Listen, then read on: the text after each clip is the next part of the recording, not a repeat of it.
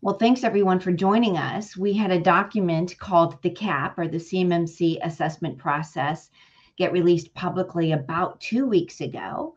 So I wanted to walk through this with some stakeholders that we have on a Discord group called CUI. So my name is Joy Beland, and we're going to go ahead and introduce some of our guests today who are stakeholders in um, what this document is and what it will mean for the CMMC assessment process. I have with me Allison, Terry, Amira, and I wanted to start with Amira, um, sorry, with Allison. If you could introduce yourself and tell us also uh, not just about your organization, but what your organization's role is in the CMMC ecosystem. Sure. Okay. Well, thanks for having me. My name is Allison Giddens. I am president of WinTech, an aerospace machine shop uh, outside of Atlanta. Uh, we manufacture a lot of parts for defense industry base. And um, our role is we're an organization seeking certification. We're a small business and uh, working with an MSP, so it's there's there are a lot of uh, different things that plays for us.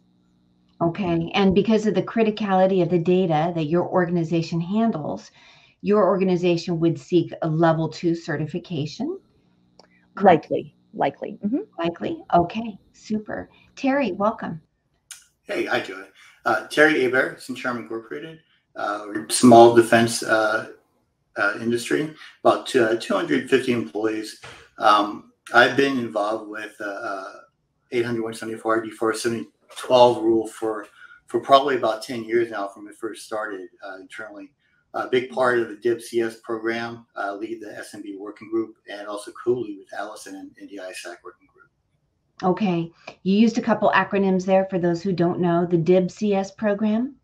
Yeah, the cybersecurity program it was actually uh, implemented for a collaboration between Department of Defense and industry. So they've been holding uh, working group meetings and uh, providing industry a lot of tools and uh, conversations to help uh, along in preparations uh, for 800 171. Okay, great. And where are you based out of? I'm in Virginia Beach. Virginia Beach. Welcome. Nice to have you, Terry. Thank you. Amira. Hi, I'm Amira Armond. I'm the president of Kieri Solutions, which is a uh, CMMC third party assessment organization. And um, I personally, I'm a, I'm a cybersecurity uh, person, I'm a systems architect. I have uh, uh been granted provisional assessor and provisional instructor uh, roles for CMMC. Um, I'm also the vice chair of the C3PAO Stakeholder Forum, which is an industry group of um, more than uh, 200 C3PO representatives that are working to achieve consistency of assessment. Fantastic. C3PAO, a certified or a CMMC third party assessment organization.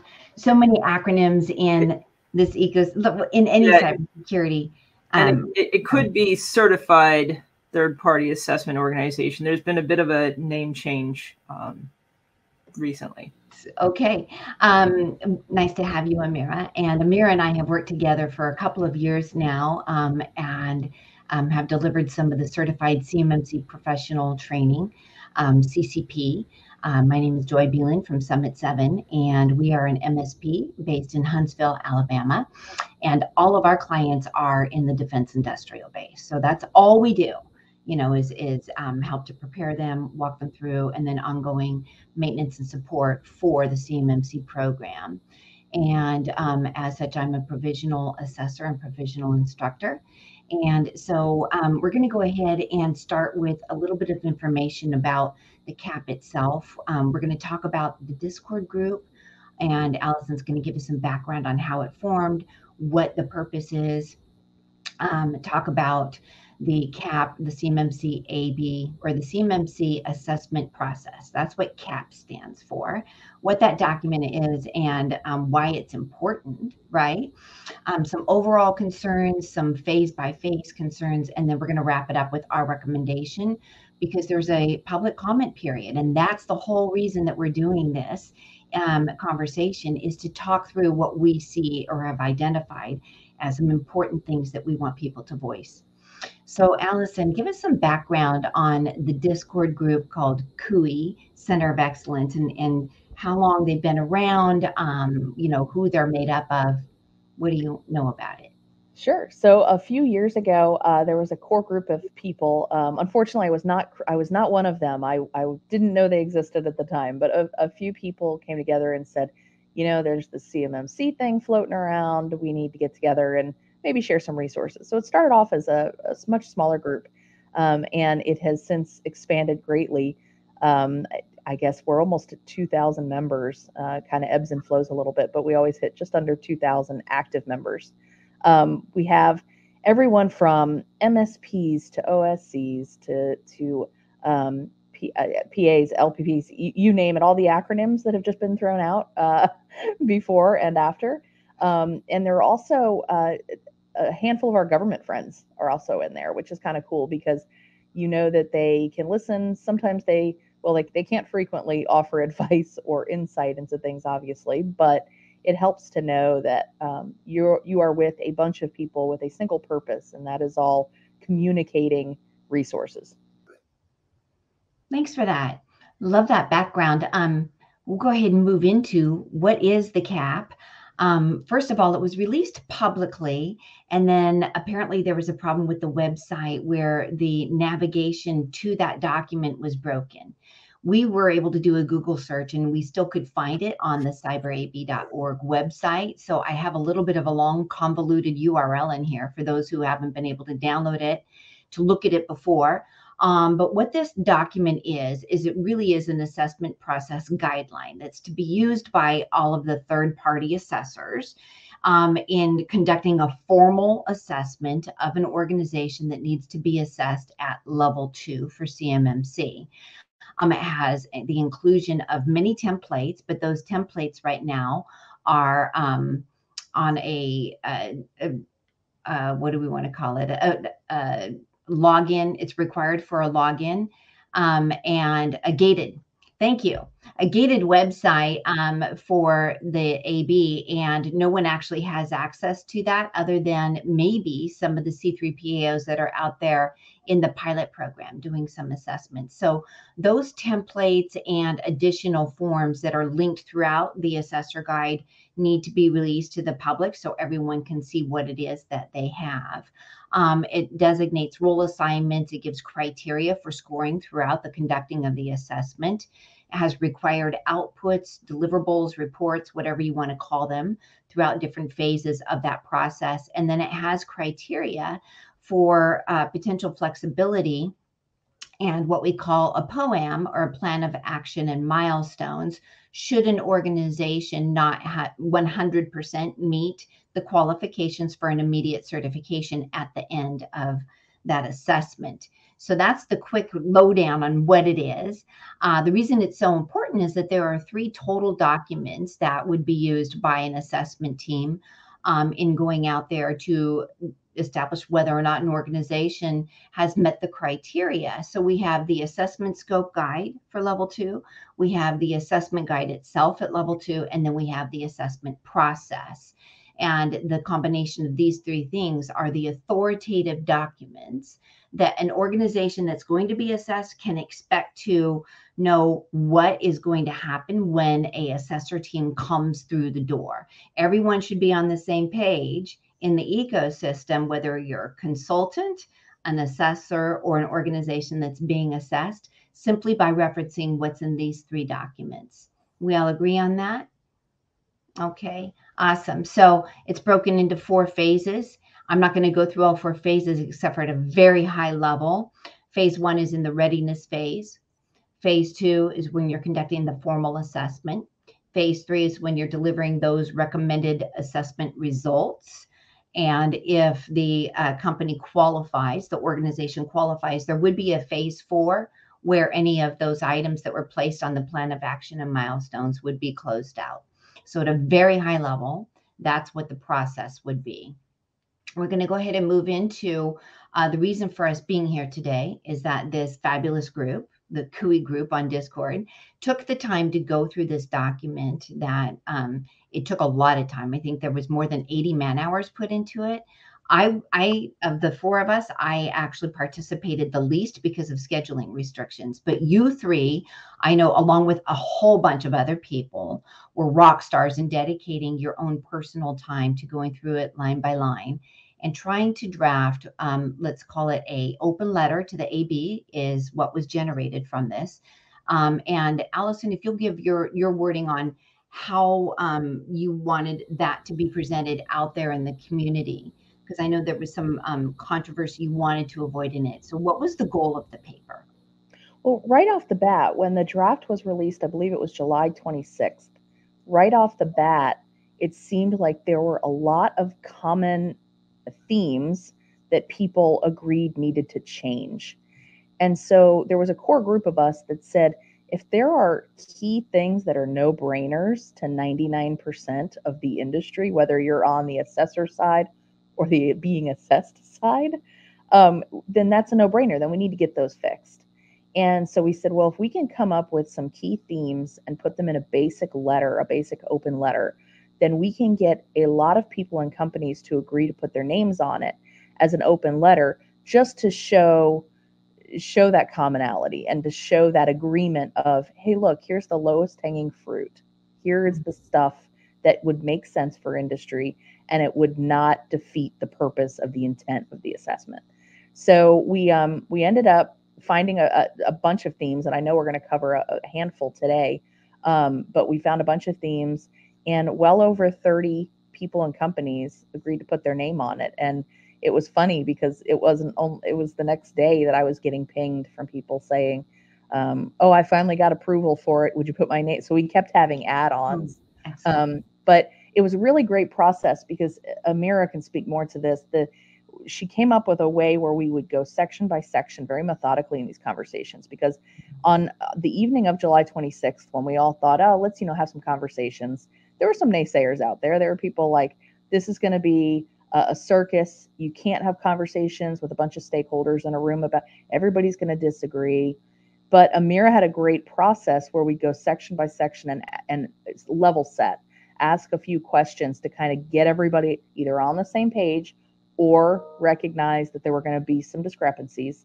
And then we could dive into recommended proposals and some feedback. And we documented everything so that even though there was an open letter that the majority of people signed on to, there was another document that we processed that kept up with everybody's feedback and proposals so that people could go back and say, you know what, I know that I wasn't in the majority for this, but I really like this idea. And they can take that back to the AB and propose it. Excellent. And, I saw in that process that you used the uh, there was a line by line tracking of what people were proposing and then a vote on it whether or not it made sense to the people participating that that should be included in this paper so i really love the way that it was done at number one through the detail and number two uh, in such a democratic way, right? With people yeah, it was, it was kind of cool to watch because you know I was as a they would go through the conversations and they would mm-hmm. post the questions. People started voting on something, and then new concepts, new ideas were proposed, a different point of view, perspective, and you'd watch the votes change, right? You could see they were they're acknowledging, okay, well maybe maybe I didn't think through this completely, and that was really neat and cool to kind of see because it becomes really collaborative that that at that point in time. We all start learning, assumptions start mm-hmm. dropping, um, and it was really it was a great process. It was really cool. One thing uh, also to mention was that you know even though people signed that letter and uh, it didn't mean that everybody approved with or agreed with all of the statements. You know, so that's, that's we're probably really uh, we need to make sure that's uh, well uh, Sherry. Agreed. Um, Amira, talk us through some of what we're looking at on the screen here, because at the outset, I think that there were some big overall things that became clear. Right. So let me let me pull this way up to what the CMMC assessment process is supposed to do, because we and this is something that I I I, I gave a, a short talk to the the the participants in the review meetings each session um, to level set. You showed a slide earlier that had the CMMC assessment guide, the CMMC scoping guide, and then the CMMC assessment process. Right now, two of those documents are published by the Department of Defense the assessment guide and the scoping guide. Right, those are the technical. How do you um, evaluate the environment? Right, how do you determine uh, whether a implementation is correct or not for cybersecurity? The assessment process is not meant to be a technical guide. It's not meant to set requirements. It is supposed to tell assessors how to do a consistent assessment, right? So that when you have uh, 500 assessment teams with different people going to different companies, we get the same result from each assessment, right? We get a predictable result. Um, the key areas that any assessment process are supposed to address uh, is the intake process, right? Do you do you allow companies to come in with known flaws, or do you do you make sure that they are at a certain level of readiness first? Um, how many assessors you're supposed to have involved for a certain level of complexity, right? That's a that's a big thing because uh, the more investigation you do, the more problems you find, right? Uh, we we we may have seen there's a funny um, there's a funny video of somebody who's screening a crowd before they enter uh, a building and uh, you know the first person he pats down and then the se- second person his hands get a little bit further and then third third person he's not even touching them right um, and guess guess which level of detail and scrutiny is going to find a problem right you actually have to look hard to find problems uh, and assessment processes are supposed to tell assessors how hard to look. Do they mm-hmm. spend 10 minutes per requirement or do they spend one minute per requirement? Um, and assessment processes are also supposed to tell you uh, whether you're allowed to fix issues in the middle of the assessment and some other details, right? Mm-hmm. Standardization. Uh, they're not meant to add requirements they're not they're not meant to replace the DoD's technical requirements that are already uh, stated in the assessment guide and the scoping guide. Um, so back to your your original ask, Joy. Uh, some of the first things that we saw was that in the uh, assessment process there was there's a lot of language in there, um, which quite a bit more. There's something like 50 pages of text uh, in the in the version one that was released, um, which is a lot more than the equivalent FedRAMP assessment process, for example. Uh, and it had quite a few shoulds, right? So um, the the the assessment team lead should do this. You know, this person should do that. That's a very dangerous thing when we're talking about consistency of assessment because um, that's not a requirement, right? If we want assessments to be consistent, then either everybody does it or nobody does it. Uh, so we, we do recommend taking all of those out unless they're actually required. Um, and then we had a lot of conversation where the CMMC assessment process was telling C3PAOs, the assessment teams, and the OSC what they had to do in regard to reviewing evidence, right? You're you're allowed to uh, send evidence to the C3PAO under this condition, but then the C3PAO has to delete it immediately, and they have to sign sign stuff, you know. Or in other cases, you're not allowed to send data to the C3PAO, right? And now the C3POs and the assessment teams go, how are we supposed to assess when it's this strict? Um, mm-hmm. and when we talk about it should be governed by an agreement, the, the OSC and the C3PAO need to determine whether they trust each other. And if the OSC trusts the C3PAO to give them their evidence in order to do an assessment, that should be allowed, uh, as opposed to adding uh, requirements throughout an entire timeline that say you're allowed to have it in this condition, but not here and you might have to go on site to do a pre-review, it it gets a little bit extreme.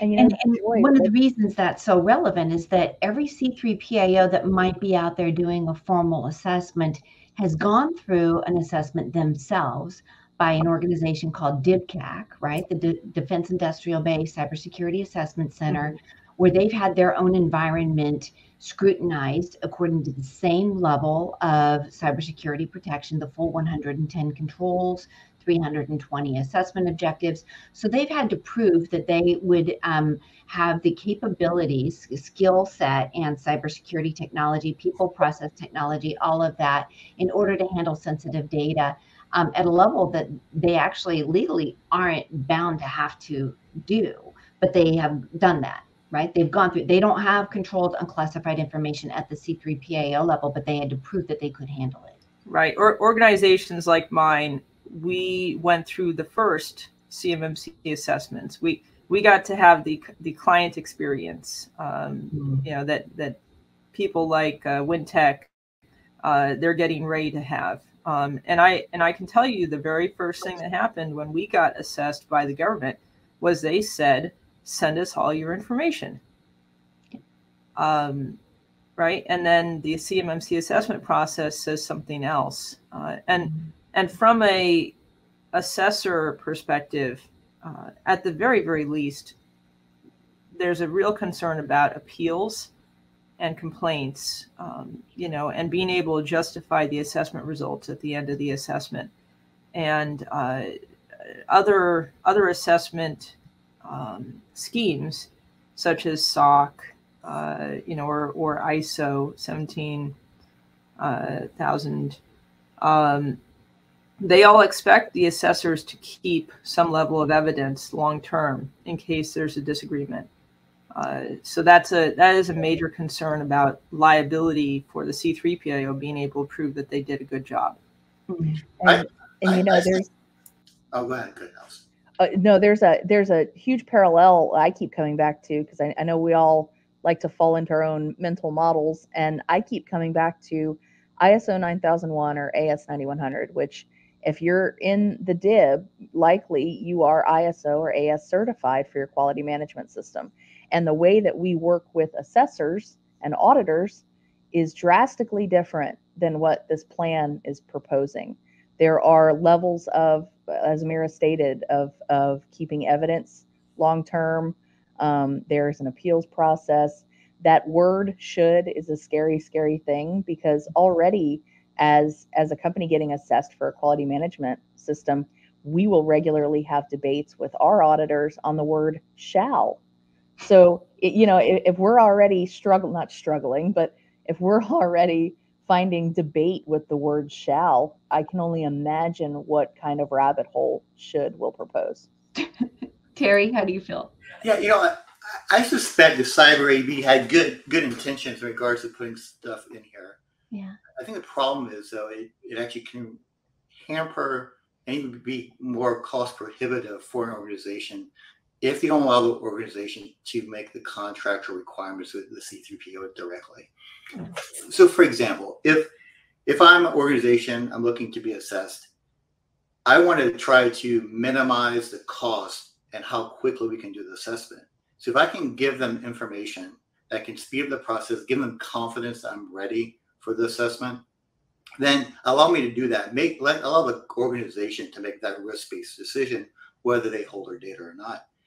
And even if I get assessed again three years later, if I allow them to say, hey, you are allowed to actually keep this information.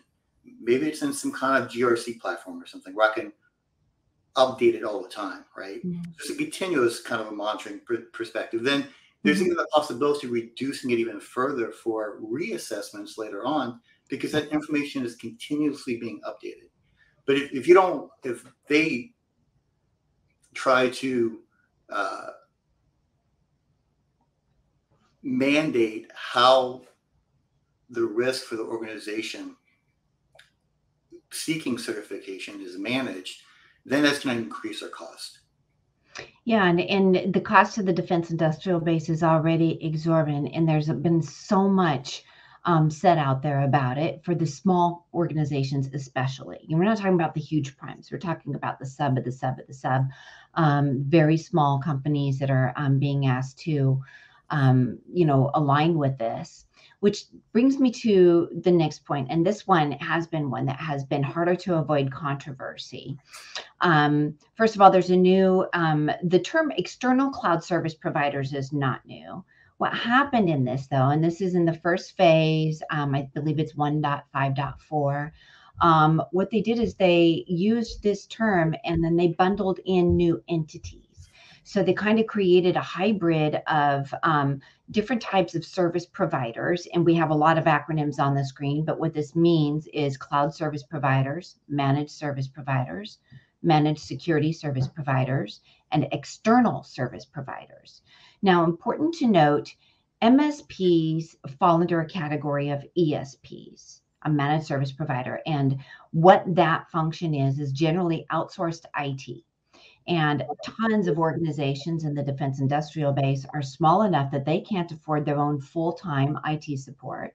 So, what they do is they outsource that for a firm that will come in and help to do things, everything from standing up their servers, um, you know, readying their cloud repositories for where they're going to save their data, um, deploy new desktops, uh, vulnerability patching, you know, keeping everything updated for Windows updates and every other kind of update, install new software, all the things that an IT person would normally do if they worked internal to an organization.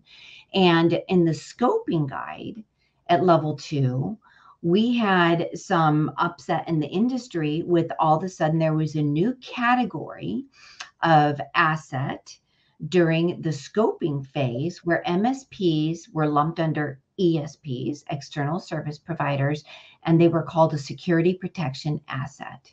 In the scoping guide itself that came out months ago, um, there's been confusion because a lot of organizations were like, all right, so if the 110 controls would apply to my MSP, is that only for the controls that they play some part in providing capabilities or services to our organization? Or do all of the 110 controls apply to that MSP? There's been ongoing debate and confusion around how do we, as an organization in the defense industrial base, consider our liability and the expense of including a managed service provider in our actual assessment. And what happened in this CAP document is all of a sudden, those MSPs now have been bundled in with cloud service providers. Cloud service provider would be like Google, Amazon, Microsoft. Those are some major organizations with a lot of resources that they can dedicate to specific licensing and packages and support around just storing that controlled unclassified information. But MSPs are now being uh, bundled in to this category. And there's words included in the assessment process that say things like either the MSP has to be CMMC level two themselves, or potentially even fall under the category of a cloud service provider where they need to be FedRAMP moderate or equivalent.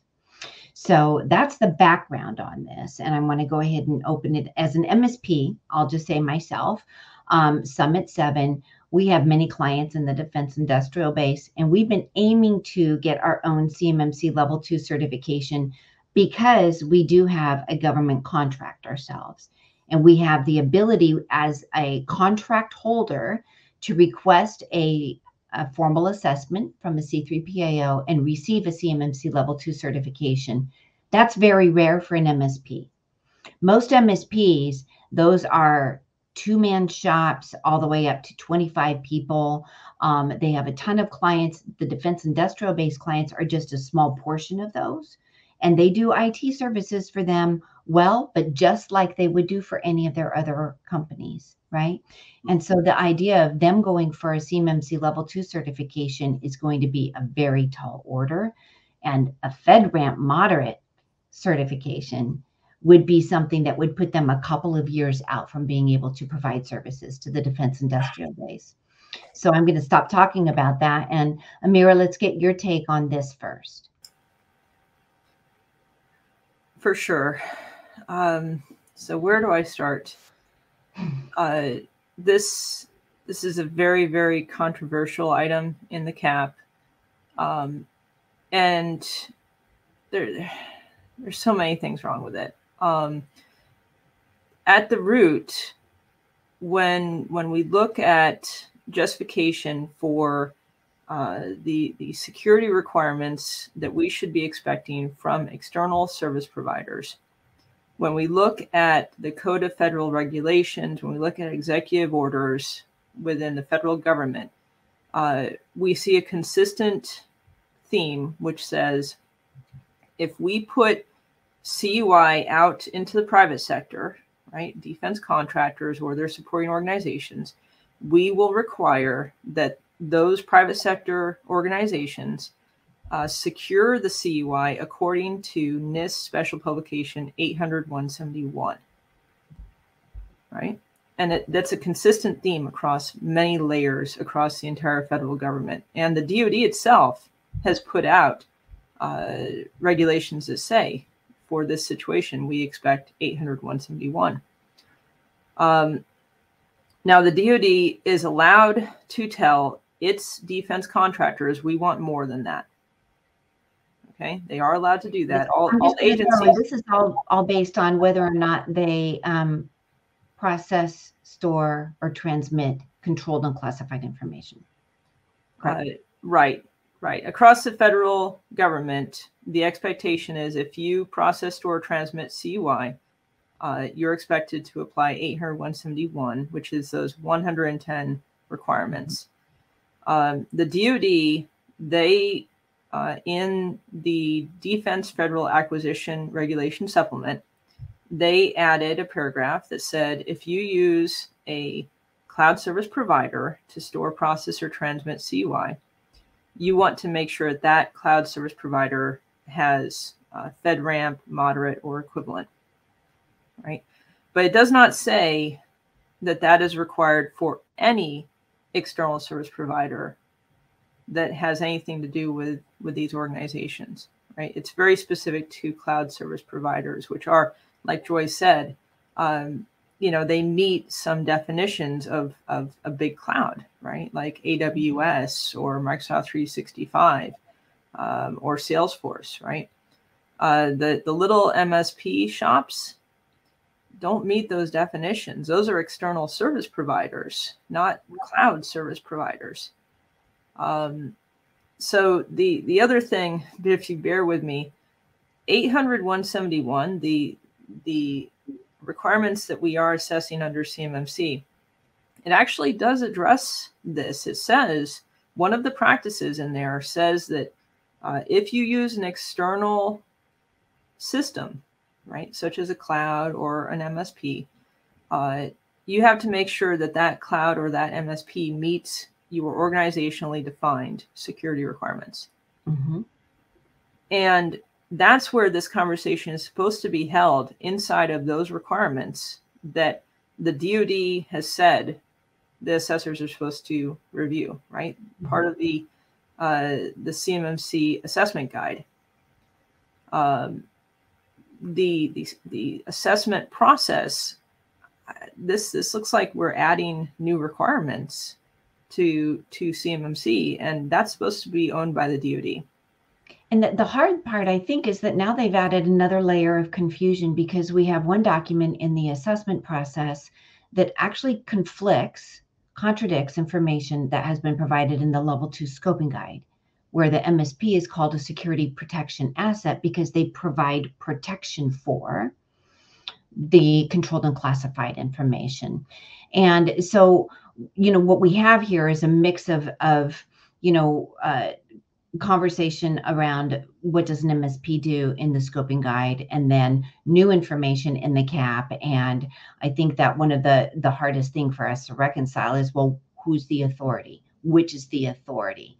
Because the organization seeking certification, Alice and Terry, you can tell me if um, the MSP, if you have an MSP, because you may not, but a lot of these small organizations do, um, who's providing services to you, and all of a sudden they have to completely redo their infrastructure, the way that they handle all of their processes. They have to dedicate certain personnel just to the organizations in the defense industrial base, um, a whole bunch of added background checks.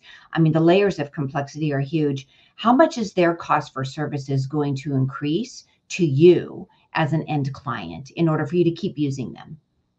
Um, astronomical. I mean, I, I think it's the same same version of the conversation that we have when we talk about OSCs who have not been following NIST 800 171 when they should have. And by the time they have to get kind of where they are at, I heard a great analogy that um, it was somebody on CUI Center of Excellence that said MSPs are a consumer of external cloud services. Yeah. So it, it's you you can't loop this in. You can't. I mean, it, to to think that an MSP is going to become FedRAMP is absurd because that's not possible. Because that's not a thing. And I, I my concern from an OSC perspective, reading reading a lot of the cap, I cringe because I wonder how much of it is a misunderstanding by the authors and how much is it of a complete misinterpretation and overstep of authority. So like like Amira said, I we all need to kind of fall back on the whole DoD side, and ev- they need to be the, ones to to define, and they have, and we need to fall on that. Hmm. And and I want to, um, in the interest of time, we're we're going to move forward, and we have a, a, couple others we want to touch on real quickly. But um, you know, I also want to put out there, I think that you all would agree there does there should be some level of cybersecurity requirement for a managed service provider. I mean, we've seen that they are, um, you know, one of the vulnerable links in the supply chain that if they are compromised themselves a bad actor would have access to all of their client networks in certain regards. And so you know there should be some threshold for which they have a third party come in to um, review their own cybersecurity and make sure that as they provide protection protection to the defense industrial base they themselves won't be compromised. Um, the other thing about a managed service provider that I used to say when I had my own MSP was, you know, I don't want to ask my clients to implement something in their own organization that I haven't done myself security wise because then it helps me to understand the resourcing the cost the blood sweat and tears the the agony of everyone being asked to do something differently even something as simple as mfa right? So if they're not doing it themselves how can they expect to have a conversation of depth and weight with their clients to truly understand the implementation and what that means for the business processes that they're potentially going to be affecting. So um, we'll go ahead and move to the next one. Uh, we want to. What one one last thing regarding the MSPs and the security that that they need to implement. Mm-hmm. It really needs to be scoped to the CUI. Yes. So is the MSP protecting their client's CUI? And we need to start with the location of that CUI and then trace it to the MSP's systems and make sure that those systems are secure in order to contribute to protecting the CUI. But making sure that the MSP's computers are extremely secure, completely unrelated to mm-hmm. the client's data is not helpful. Yep. Thank you for that. Okay. Um, there's a little bit of confusion around what is inheritance, what is non-duplication, and what is reciprocity. In section 1.5.5, um, there's some mention of you know what would be required even for FedRAMP moderate um, verification. And real quick, I thought maybe that it would be helpful, Amira, if you could explain the difference between those three, why this is important, and then we'll move into some of the physical inspection requirements. For sure. So this kind of has been my specialty uh, the last year.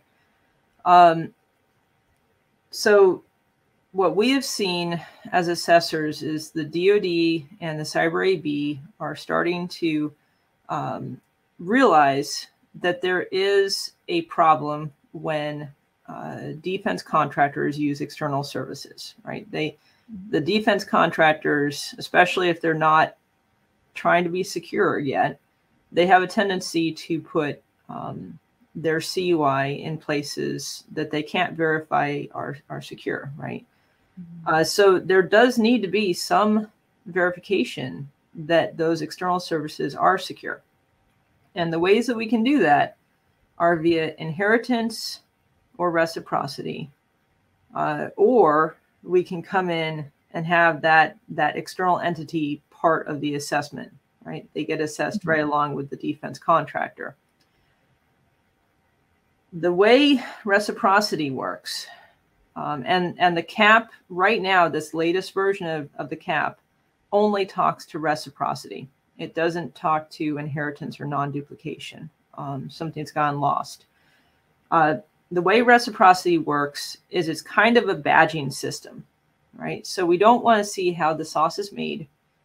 We don't want to know, you know, what was what was looked at or how you looked at it or what you verified. We just want to see that somebody says you're good, mm-hmm. and that's it, right? That's reciprocity.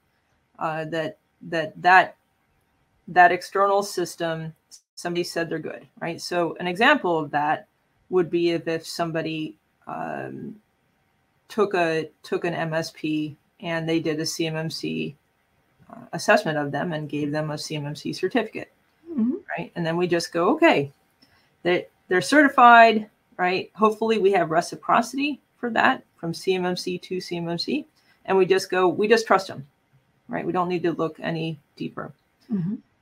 Um, the problem with reciprocity is that there's very few frameworks out there that come anywhere close to the requirements of CMMC.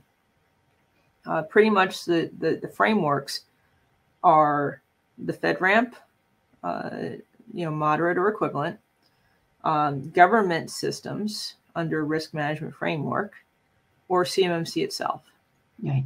Right. Uh, yeah. And when you're trying to talk about defense contractors and their external providers, they don't have those, right? So FedRAMP, there's a couple hundred legit cloud providers in the world that have gotten FedRAMP authorized, right? I don't think there's a single managed service provider anywhere in the world that has FedRAMP or risk management framework or CMMC at this point. Right. Right. So we can't do reciprocity because they don't have that badge, right? Uh, where it's equivalent or better to the CMMC requirements. Um, inheritance, in comparison, is a much more granular view. Uh, so inheritance would be taking an assessment report done by a third party assessor like my company or or another company uh, where they actually go through the uh, functionally equivalent assessment to CMMC, right? It could be a SOC 2, but the, the key is it has to be the same scope. It has to be against the same requirements, mm-hmm. right? Um, and that assessor goes through each each requirement says, yes, I verified it. I personally made sure that this is in place, right? And they issue a report that might be 20 pages long. And at that point, the when you're doing the assessment of the defense contractor, you can take that assessment report and go line by line and say, okay, for this external entity, for this requirement, are they doing it? Okay, it says yes, right? Mm-hmm. And we mm-hmm. check it off on our on our grid as well. Mm-hmm. So inheritance is very, very granular. Mm-hmm. Reciprocity is basically just do they have a badge, right? Mm-hmm. Good to go. Mm-hmm. Um, and inheritance is actually a great concept that we need to use for CMMC, and it, it's it's sadly been lost from this version of the the cap. Um, non-duplication is another word for inheritance. It basically says don't reassess the same organization over and over and over and over again if you've got an assessment report that says they're doing it, use that assessment report. That's that's what non-duplication means. Back to you. Thank you. And so it's just a, a crucial component we haven't had enough um, elaboration on or guidance. Right now, nothing is out there other than FedRAMP moderate, and that's really for cloud service providers. in a nutshell, right? But it's something that we do need to get um, in writing and as part of the assessment process for the assessors to be able to look at any of those three categories to determine how can we save money, time, and not have the organization seeking certification go through a lot more cumbersome of a process than necessary, especially if, if they've already invested in selecting providers that have gone through this trouble. So, Terry, I haven't had a lot of uh, conversation with you yet, but you know, one of the things that we noticed in the assessment process is that it mandated 15 different cybersecurity controls in CMMC that would have to be performed on site with a assessment team member. I just wanted to hear from the perspective of an organization being certified or requesting certification. Um, what would this mean financially, resource wise? How, does that impact the overall picture of what you're expected to accommodate? And if we if we have to bring an assessor each of our sites, we have five different locations that would dramatically increase the cost of flying time for, for physical validation of all these requirements. What's very, very odd and, and interesting is that you know, DIBCAC doesn't do this, especially for large organizations. They go to one site, right? They do an inspection or do the physical and, and they're done. They don't ask to actually look at, visit every single location. Um, I, th- I, think that objective objective is, hey, th- these are the requirements do you have something stating that you're meeting these requirements? How are, how are you stating you're doing it? Okay, well, show me how you're doing it. And, and so that that depth and breadth of actually the assessment process increases that cost by by not only for the physical but all the requirements, right? If I if I need to validate a, a not just one system, but I have to validate 50 systems, well, that increases the time. The time I have to pay the, the C3PAO to mm-hmm. actually do, do that assessment. Which I would even argue at that point, it's not really an assessment anymore, but it becomes more of an audit, right? At what level of, of guarantee are you st- stating that you're or implementing these requirements? Mm-hmm. If DoD says DIBCAC process is sufficient, we're good. We're good with that. I don't understand why the Cyber AB would try to increase what the DoD is already accepting as as acceptable. Yeah. Um, Anything to add to that, Allison? No? Okay. So um, I know that everyone is probably saying, oh my gosh, now we're just finally hitting phase two. But here's what happened as I understand it. You might give a, a more accurate voice to this, but as the uh, team got into the actual assessment process for, for now, we're now that we've done all of the readiness phase and everything we just talked about up front is a tremendous amount of work for any assessor team to do with an OSC. And now they get the actual assessment phase. So, you know, what I saw happen was that it's just like, we just need to have people who do assessments for a living, this kind of assessment, help the cyber AB to write this in a way that makes sense on behalf of all of the stakeholders. That's my takeaway from it. Is is does anyone want to expand on that part of it? That, that, hit that hit the nail on the head. There there were a lot of linear problems. It does read as if a lot of it reads like that uh that group project that we all had to do in, in high school or college where it's all right, you do this section, you do this one, we'll throw it, we'll copy paste it in a Word doc. It feels like that, unfortunately. Um, but I mean, I know I know they've got to divide and conquer, but um, but yeah, that that definitely needs to be cleaned up.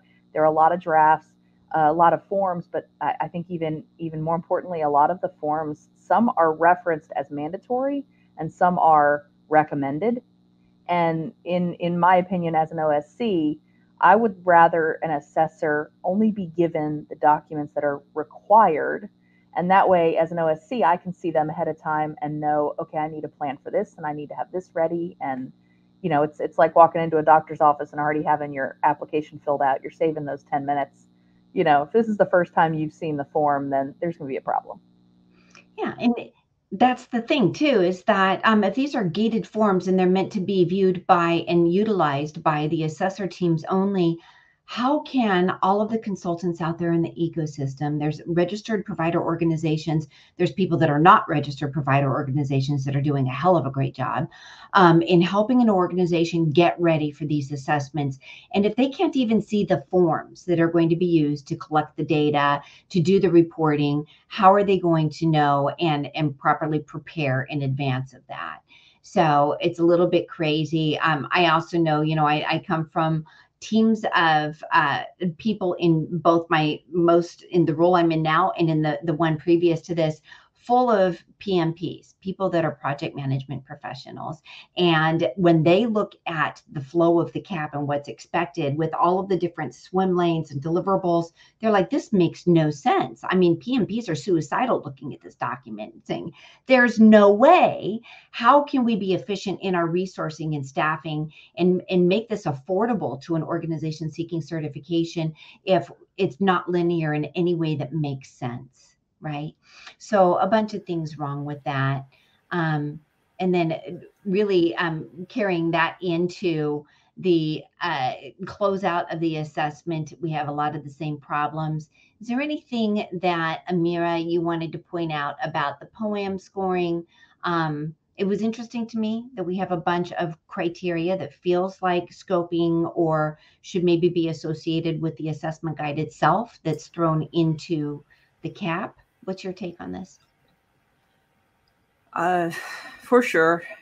The um, starting in in phase three, at, towards the end of phase two, phase three, uh, the the cap um, gets gets pretty confusing. To be honest, uh, it introduces this concept called I think the the limited deficiency something something program mm-hmm. um, which I have read about 50 times and I still don't fully understand it.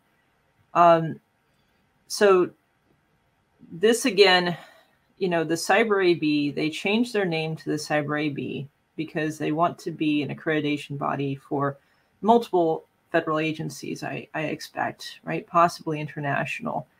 Um, and yet, the CMMC assessment process is uh, trying to list off DoD specific technical guidance um, in terms of you know which practices are acceptable to the DoD to be uh, failed versus met, um, and this again should be referred out to the owner of the model, uh, which is the DoD in this case, um, and let them determine what what is a a you know acceptable score for the DoD.